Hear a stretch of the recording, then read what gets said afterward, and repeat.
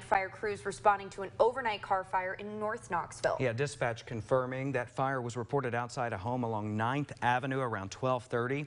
We're told it took about an hour to put it out. At this time, we're working to learn more about how it started. KFD is currently working to find that answer.